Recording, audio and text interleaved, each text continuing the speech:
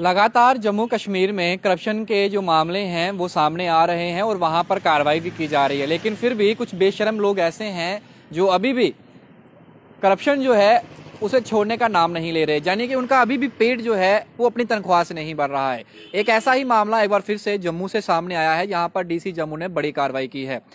जय हिंद, आप देख रहे हैं बाहू एक्सप्रेस और मैं हूँ आपके साथ शुभम लंगे। आज सुबह होते होते एक खबर जो थी, वो फ्लैश हुई, जिस खबर में ये बताया जा रहा था, जिस अपडेट में ये कहा जा रहा था कि डीसी जम्मू अंशुल गर्ग जो हैं, उन्होंने डिस्ट्रिक्ट जम्मू के अंतर्गत आते हुए एक तहसील से एक पटवारी जो है, उन्हें सस्पेंड कर दिया है।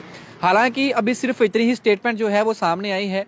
अभी उस व्यक्ति का नाम वो कहाँ का रहने वाला है? कौन सी तहसील में वो पटवारी था? ये चीज़ें जो है वो सामने नहीं आई हैं। लेकिन इतना ज़रूर कहा गया है कि सीरियस ऑफेंस था, करप्शन का उसके ऊपर, जिसकी वजह से उन्हें सस्पेंड जो है वो किया गया है।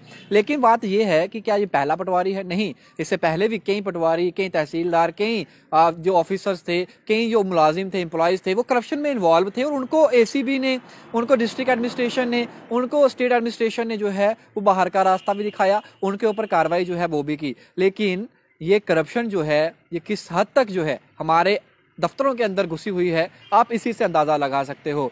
जो रेवेन्यू विभाग है, उसमें पटवारी एक ऐसा अहदा रहता है, जिसके पास अमूमन छोटे से बड़ा काम जो है, वो जाता है और लोगों को अगर किसी प्रकार की कोई मुसीबत है, कोई समस्या है तो पटवारी एक ऐसा अहदा रहता है जो जो उन मसलों का हल जो है, वो करने में सक्षम रहता है।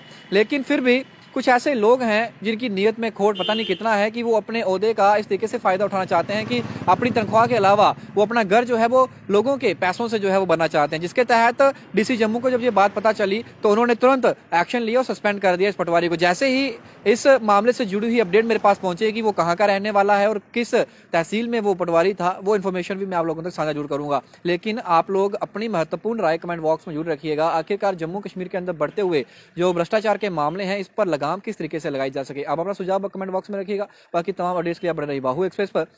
के साथ शुभम लगे बाहू एक्सप्रेस के लिए। जय हिंद।